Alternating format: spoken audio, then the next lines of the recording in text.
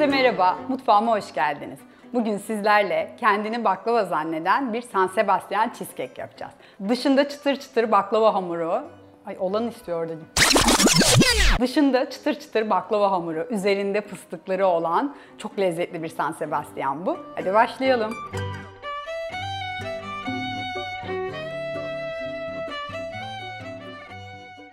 İlk olarak şerbetini hazırlayacağız. Çünkü piştikten sonra baklava hamurunu şerbetle ıslatacağız. Onun için şöyle küçük bir tencere alıyorum. Böyle yarım ölçü yapacağım şerbeti. Çünkü sadece baklava hamurunu ıslatacağız. Şekerini ve suyu ekliyorum. Şimdi şerbetimizi ocağa koyuyorum. Yarım ölçü yaptığımız için e, çok hızlı bir şekilde zaten kaynayacaktır. Kaynadıktan sonra da 7-8 dakika kadar pişireceğiz. Şerbeti alacağız. Şerbetim kaynamaya başladı. Tam o sırada böyle 2-3 damla limon sıkıyorum. Ve tekrar pişmeye devam ediyor. Şimdi şerbetimiz pişerken arkada ben de baklava hamurlarını hazırlayacağım. Baklava hamurları çok çabuk kuruyor ve e, yırtılmalar oluyor. O yüzden böyle bir bezde sarılı durursa işimiz birazcık daha kolay olur ama zaten bunlar da yırtılmaya başlamış bile. 5 kat kullanacağım. Böyle tek tek ayırıp alacağım önce. Şimdi her tarafına gelecek şekilde ben sade yağ kullanıyorum. Tereyağıyla da yapabilirsiniz. Böyle her tarafının ıslanması gerekiyor ki yoksa kıtır kıtır e, kırılmalar ve dökülmeler oluyor.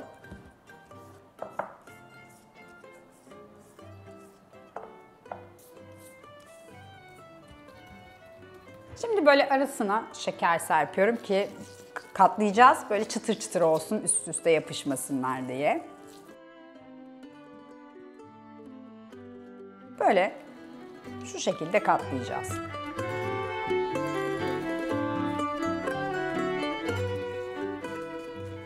Ben böyle 20 santimlik bir kelepçeli kalıp kullanacağım. Tabanına yağlı kağıt koydum. Böyle kenarını da sprey yağla yağlayacağım.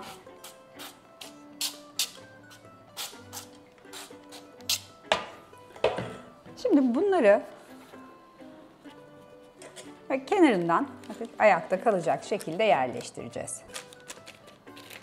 Şimdi ikincisini de böyle çapraz bir şekilde koyuyorum. Yine köşelerine böyle dibine yerleştiriyorum. Üçüncüyü de tam bunların ortasına koyacağız. Amacımız aslında taban oluşturmak bir taraftan. O yüzden açık kısımlarına doğru koyuyoruz. Son boş kalan yere de dördüncü yufkamı yerleştiriyorum. Tamamen tabanını kapatmış olduk.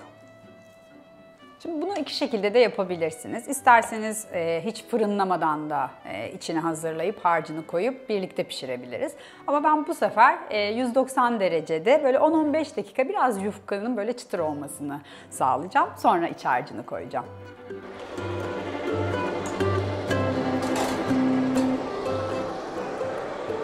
Tabanımız pişerken biz de cheesecake'imizi hazırlayalım. E, cheesecake'in e, hazırlarken böyle bir iki tane püf noktasından bahsetmek istiyorum. E, çok uzun süre çırpmamamız gerekiyor. Çatlama yapabilir. Bir de e, mikser hep çalışırken biz yavaş yavaş malzemeleri ekleyeceğiz. İlk olarak pudra şekeriyle peyniri çırparak başlayacağız.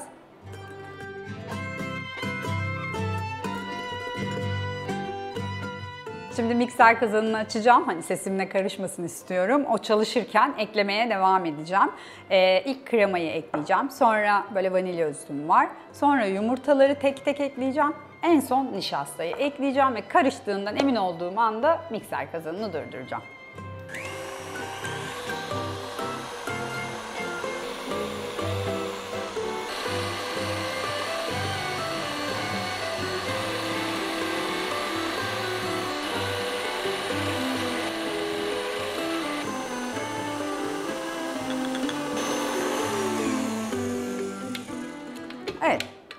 Tam olarak karıştığından emin olduğum anda mikseri durdurdum. Şöyle bir spatula ile altına bakacağım. Hani karışmayan yeri var mı diye. Gayet homojen bir şekilde karıştı. Şimdi en son olarak da tabanına böyle e, fıstık koyacağım ama bunu cevizle de fındıkla da yapabilirsiniz. Yaptığımız şerbetin yarısını bu fıstıkların üzerine ekliyoruz.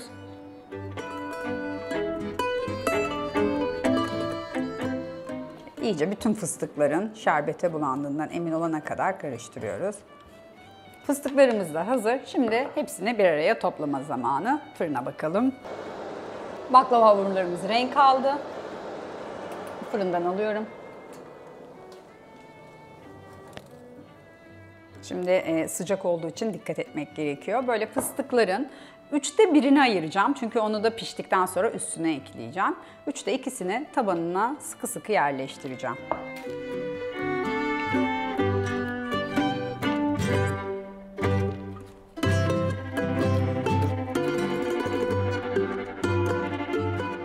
Bütün tabanını kapladım. İç harcını dökmek için bir süzgeç alacağım. Ve tam krema gibi olsun istiyorsanız muhakkak süzgeç kullanmanız lazım.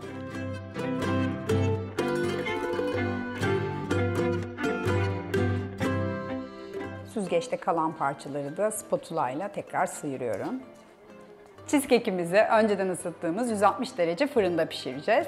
Peki piştiğini nasıl anlayacağız? 30 dakikadan sonra fırını açtığımızda bir eldiven yardımıyla bu e, kalıbı böyle hafif sallayacağız. Salladığımızda sadece cheesecake'in orta kısmı sallanması gerekiyor. Bu çok önemli bir ayrıntı. O zaman gerçekten tam krema kıvamında oluyor. Şimdi fırına veriyoruz.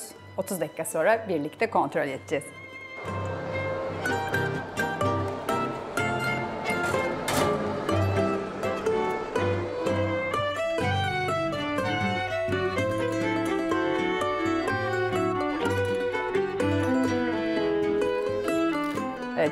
Cheesecake'imiz pişti. Böyle baklavalık hamurları çıtır çıtır oldu. Ee, tam istediğimiz kıvamda oldu. Ben e, piştikten sonra e, fırını kapattım. Sonra fırının ağzını açıp bir yarım saat oda sıcaklığına gelmesini bekledim. Hemen dışarıya çıkarmadım. O zaman cheesecake'inizin üzeri de çatlama yapmıyor. Şimdi servis tabağıma alacağım. Sonra üstünü süsleyeceğim.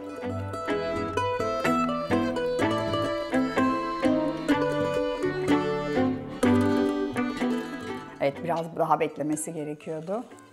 Ama ben dayanamadım tabii ki. İlk önce e, dibine kullandığımız ballı fıstıklarımız vardı. Onu üstüne yayacağım.